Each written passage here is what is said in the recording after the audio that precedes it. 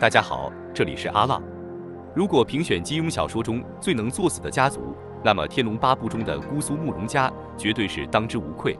纵观全书当中，他们家做的那些事，用一句话总结的话，那完全可以说是把敌人搞得多多的，把朋友搞得少少的。也就是天龙里江湖上似乎还没有魔教这个概念，不然慕容家也差不多了，早被名门正派围剿了。具体是如何作死的，今天阿浪就来和大家简单说一说。要说慕容家族恶名的根源，首先要追溯到慕容龙城这个人身上。他创的这个斗转星移就有问题，通过借力打力实现以彼之道，还施彼身，让敌人都死在自己成名绝技之下，看着酷炫，但江湖上不知道根源，都以为你慕容家到处偷学武功，虽然实际上也确实偷学了不少，这一行为简直就是武林大忌。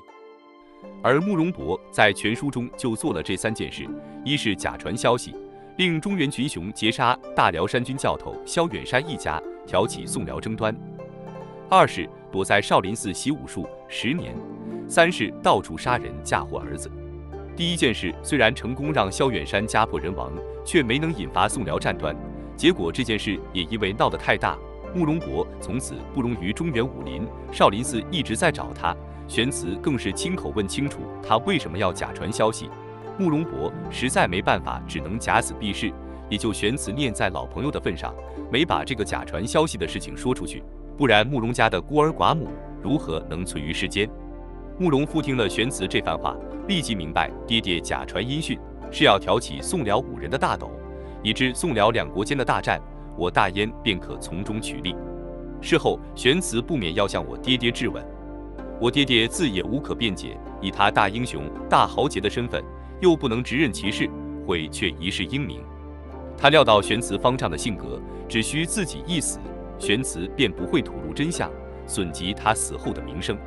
至于剩余两件事，偷学少林武功，令自己练了一身的病，到处杀人嫁祸儿子，令慕容复一时间成为武林公敌。慕容博诈死后，化身燕龙渊，在两淮一带营商出没。自称是姑苏慕容氏部属，传出黑字燕麒令，以高明武功设伏归顺的江湖豪杰，广阔势力。这本来也算好事，但是慕容博行事作风颇为霸道，不肯臣服慕容家的，往往会遭到灭门灭派。慕容复就更不用说了，收买人心时的眼光极差，每次都站错队，这也着实不易。比如他帮助三十六洞等人反上灵鹫宫，人家洞主岛主本就是为了掀翻头上的山。你就算成功帮了别人，又能怎样？你才几个人去统领别人一百零八股势力，还不如帮助灵鹫宫平叛，说不定人家灵鹫宫出于感激，以后派人助你也不无可能。在少室山就更搞笑了，萧峰本身是辽国南院大王，统兵四十万，兄弟是大理皇室，还有灵鹫之主，这是一股极其庞大的势力，他却为了收买人心与之为敌，还与丁春秋、庄聚贤联手。庄聚贤刚刚成为人人笑话的耻辱帮主，丁春秋向来恶名远扬，他与这二人联手，不是自降身份吗？这点远不及他老爹慕容博，哪怕在藏经阁中占据优势，也愿意以性命为代价请示萧峰出兵。虽然慕容博也没高到哪去，但是至少比他儿子强多了。到了西夏，连他父亲给他打下的人脉鸠摩智也得罪了，真是心比天高，命比纸薄。接着，我们再来说说慕容家的四大家臣。首先，邓百川是中规中矩，没给慕容家树敌的，但其余三人可就招仇恨了。宫野前自称江南掌力第二，而慕容复则是第一。这里可以参考一下飞狐系列中的苗人凤。苗人凤因为自称打遍天下无敌手，导致生平遇险多人百倍，也就江南没什么高手，不然怕是三天两头就有人去燕子坞挑战。他那打遍天下无敌手的外号为实犯了武林大忌，天下英雄好汉哪一个不想将这头衔摘下来？他一生所历风险多过常人百倍，皆拜这外号之所赐。包不同金书嘴臭第一人，酷爱抬杠，生平绝不认错，绝不道歉，明知自己错了，一张嘴也要死撑到底。刚一出场就遇到秦家寨与青城派到听香水榭闹事，在连载版和三连版中。包不同将两派众人狠狠折辱了一顿，赶走了。可能金庸老师也觉得这也太不符合慕容家招揽群雄，以达到复国目标的本质了。于是新修版做了修改，变成了包不同想招揽这两派到姑苏慕容麾下，并在阿朱的调解下成功收录这两派。包不同为之前的无礼向这两派道歉，也算稍微洗了一下包不同的人设。慕容四家臣在甘凉道上偶遇兵死一大彪，易大彪托他们将西夏的榜文交给丐帮众长老，这本来是化解与丐帮恩怨的大好机会。